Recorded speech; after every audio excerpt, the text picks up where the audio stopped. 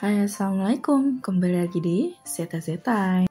Oke, kali ini aku mau unboxing kandang hamster yang lucu banget nih. Karena rencananya kita mau nambah satu penghuni baru di rumah ini. Makanya sebelum hewannya datang, kita beli dulu kandangnya. Kebetulan aku nyari kandang yang beda dari yang lain. Ini ada yang warna pink, abu-abu, dan biru. Dan aku pilih yang warna abu-abu. Nah, ini adalah susunan dari kandangnya. Itu ada rumah-rumahnya juga, putarannya, dan perosotan serta tempat makan dan minumnya.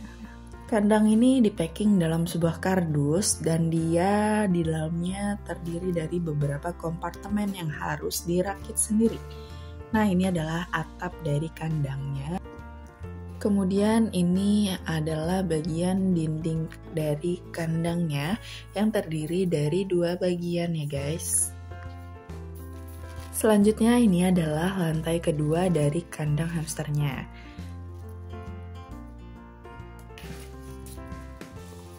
Di sini kita dapat tempat makan, kemudian ada rumah-rumahannya juga. Nah ini uniknya adalah rumah-rumahannya bentuknya benteng, beda dari uh, rumah-rumahan kandang hamster yang lain. Kebetulan juga nih ketemu kandang yang warnanya abu-abu soft gitu, jadi kelihatan lebih estetik, beda dari yang lain.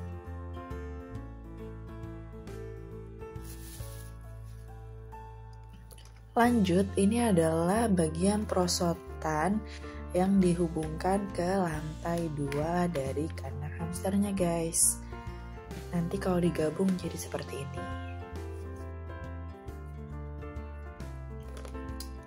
Selanjutnya ini juga ada tempat minum. Uh, dia tempat minumnya digantung gitu nanti di luar.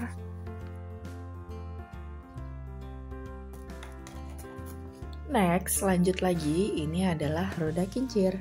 Ini adalah bagian yang paling disukai oleh hamster karena uh, yang tadinya hamster nggak pernah naik roda-rodaan ini, kalau dia dikasih, dia jadi keterusan mainnya.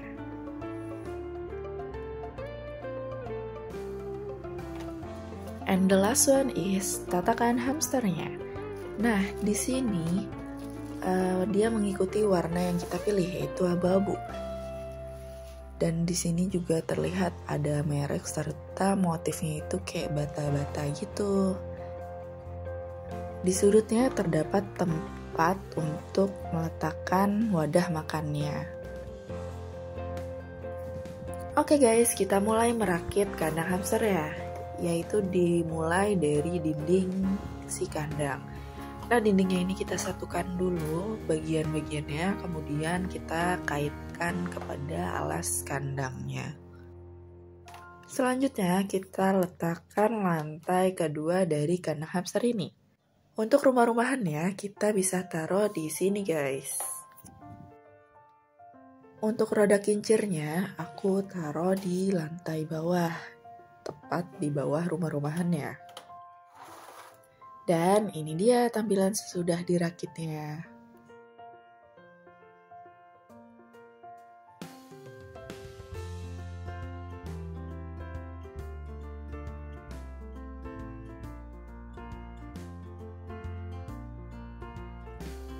Untuk hamsternya aku pilih hamster jenis winter white yang golden.